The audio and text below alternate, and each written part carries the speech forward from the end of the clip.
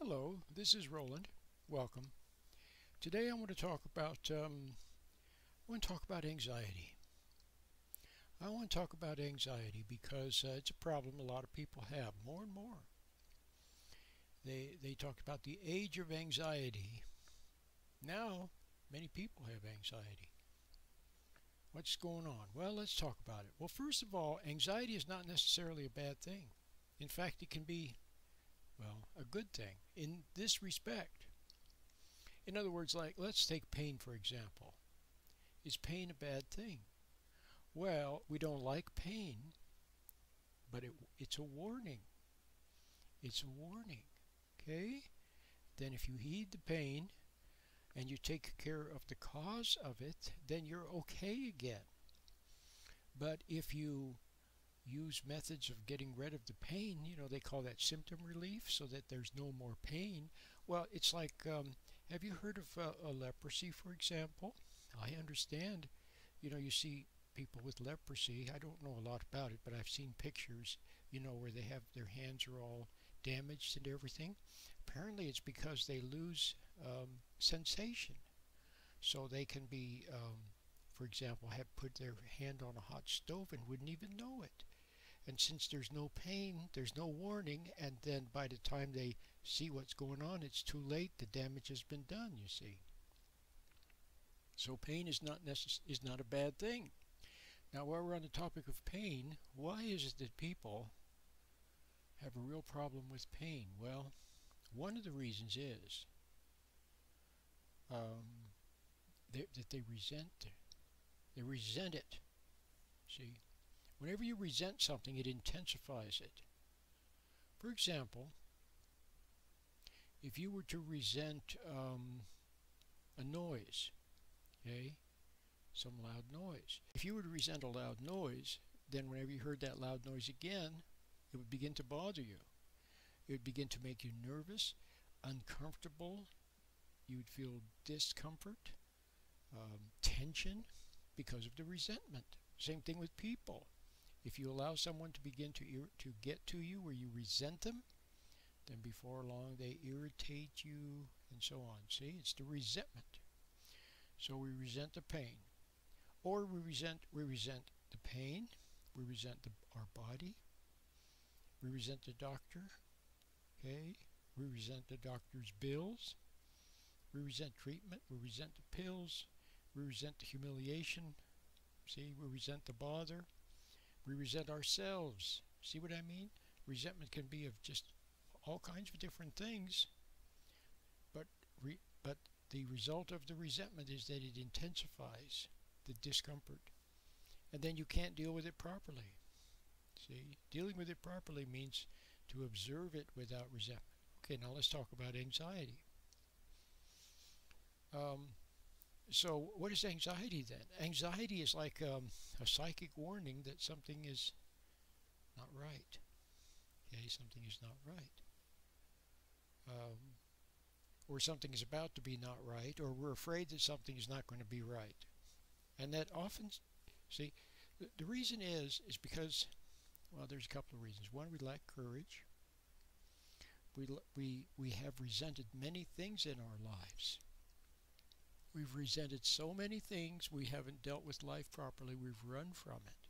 See, nowadays they make it easy to run from life. Back in the old days, back in the day, it wasn't so easy to run. See, because um, reality had an immediacy to it. You know, if the crops failed, there was no food. If all of a sudden here comes a big bear to attack you on your ranch, See, or there's here come bad guys riding in on horses with guns. See what I mean? You can't hide. You have to do something or perish. See? If you're on a long trip like the pioneers coming over the mountains, and there you are, out in the middle of nowhere, and the wagon wheel breaks. See? Or someone gets sick, or you run out of food, or there's no water, or here comes a snowstorm and you're stuck for the winter. All of these things, you have to deal with them. Okay, you, people had to deal with them. See, and then because they were because people were closer to nature, closer to life. Big families. So there were deaths. Grandma died, grandma died right in the house. Not far away, not in a different, different distant place, in a hospital, in some see, sterile environment. It was a home. People were tougher in that regard. So today we can escape. We don't have to face any life at all for a long time. We can just sit in school,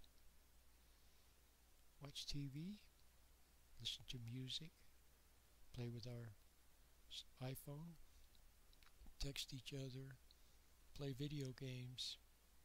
See? In a way, you could say we're overprotected.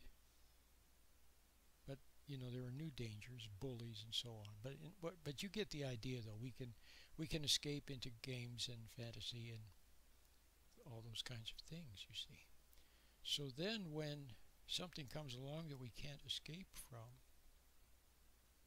we feel anxiety. Okay? Oh no. Here here comes here's a test. I have to take this test. If before you had a bad experience with a test and you overreacted, see that's the other thing, we overreact. So resentment is one problem. Then the other problem is that we have um, overreacted. We have overreacted. And so now here comes any little thing and we feel anxiety. See? So what's the answer? Well, for starters, see, I haven't covered all the reasons for anxiety. Haven't even scratched the surface. But I've given you a couple of clues about some things that you can do something about. Okay, I've given you some clues about things you can do something about. And so what can you do? Well, for example, you could get my meditation, my easy meditation.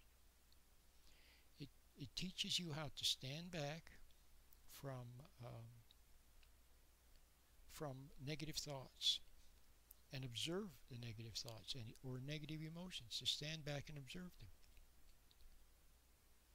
It teaches you how to get centered.